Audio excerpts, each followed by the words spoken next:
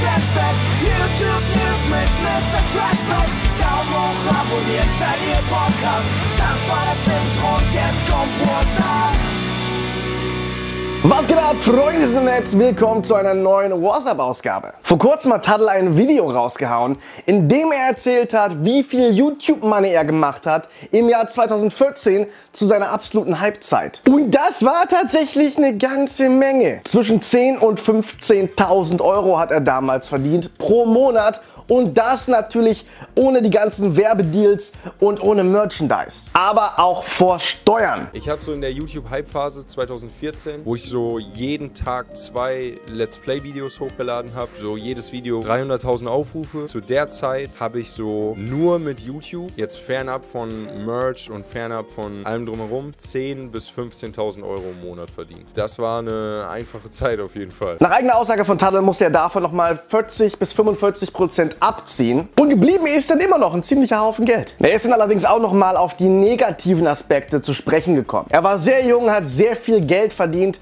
und ist damit nicht immer so gut umgegangen. Zu der Zeit vor allem war ich halt auch noch im Kopf ein kleinerer Scheißer. Ich sag's wie es ist, in so jungen Jahren so viel Kohle jeden Monat überwiesen zu bekommen ist nice, aber hat auch so seine negativen Aspekte. Ich denke mir so, wenn ich heute so viel Geld verdienen würde, ich hätte so cool damit investieren können. Ich meine, im Endeffekt habe ich cool investiert. Ich habe die ersten Musikvideos, die wir für Dead Adam gedreht haben und so, das haben wir halt aus eigener Tasche finanziert, hauptsächlich von meinem angesammelten YouTube-Geld. Aber was ich meine ist, wenn ich mich jetzt so umschaue, was so die anderen Leute gemacht haben, die ich aus der YouTube-Phase noch kenne, die haben einfach Immobilien gekauft und investiert oder dies gemacht und das und ich, keine Ahnung, Mann. Ich habe Musikvideos bezahlt. Mit seiner Musik jetzt macht er zwar deutlich weniger Geld, ihm geht's aber immer noch ziemlich gut. Das volle Video von Tadel findet ihr selbstverständlich verlinkt unten in der Videobeschreibung. Und denkt dran, gebt diesem Video einen Daumen nach oben und abonniert den Kanal, um nichts mehr zu verpassen. Die meisten haben es sicherlich mitbekommen, der Kanal von ApoRed war ja vor ein paar Tagen noch komplett weg.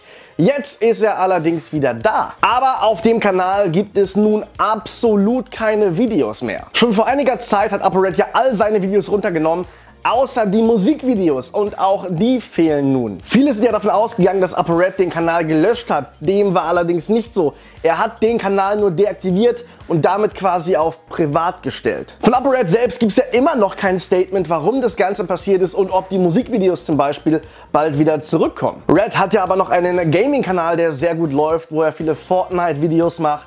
Und es ist Unglaubliches passiert. Ich sitze gerade im Schnitt zum neuen Video. Und was passiert? ApoRed lädt auf seinen Kanal ein neues Video hoch. Allerdings nicht auf den Kanal, wo ich gerade drüber gesprochen habe, seinen originalen ApoRed-Kanal mit über 2 Millionen Abonnenten, sondern auf einem neuen ApoRed-Kanal. Und ohne Witz, ich habe das nur gesehen, weil ich gerade auf seinen Fortnite-Kanal gegangen bin, um einen Screenshot von seinem Kanal zu machen. Der ApoRed-Kanal ist nun also wieder da aber ApoRed hat sich auch noch dazu entschlossen, einen neuen Kanal aufzumachen, bei dem man übrigens nun auch noch nicht die Abos sehen kann, hat er wahrscheinlich deaktiviert. Eine genaue Begründung hat ApoRed ja, wie gesagt, immer noch nicht rausgehauen. Jetzt allerdings habe ich eine große Vermutung. Es ist aber wirklich erst einmal nur eine Vermutung. ApoRed ist ja ein ziemlich kontroverser deutscher YouTuber, der nicht wirklich werbefreundlich war in der Vergangenheit, zumindest sehr oft nicht. Es könnte also gut sein, dass YouTube ihm die gesamte Monetarisierung gesperrt hat und er deswegen mit dem ApoRed-Kanal kein Geld mehr verdient. Ergo